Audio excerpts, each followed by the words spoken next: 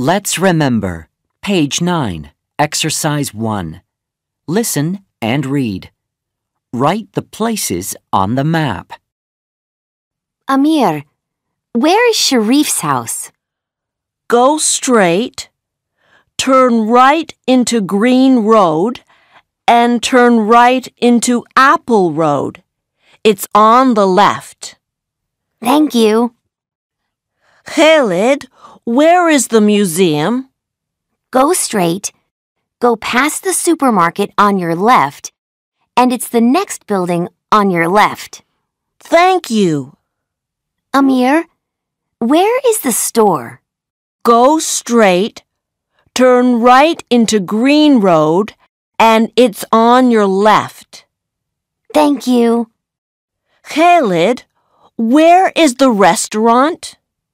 Go straight, turn right into Green Road, then turn left into Red Road, and it's on your right up the road. Thank you.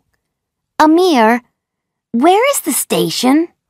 Go straight, turn right into Green Road, go past Apple Road on your right, and Red Road on your left. It's on your left. Thank you.